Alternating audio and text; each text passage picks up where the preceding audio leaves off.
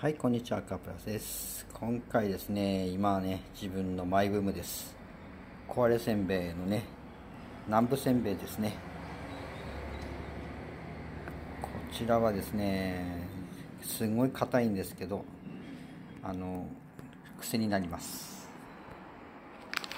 こちら壊れせんべいなんで、ね、割れてるやつですね。ピーナッツとですね、ごまが入ってます。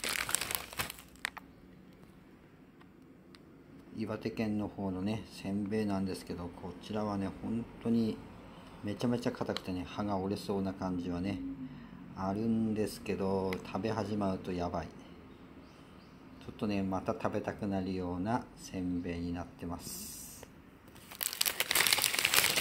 是非ねちょっと皆さんもねちょっとなんだこれって感じでね食べてもらえると多分ハマります。のでぜひぜひねこちらのね壊れせんべいの南部せんべいですね。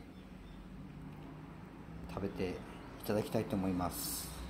別のね種類もあるんですけどそちらはね食べやすい感じになってますけどこちらの壊れの方はねめちゃめちゃ硬いです。のでぜひ食べてみてください。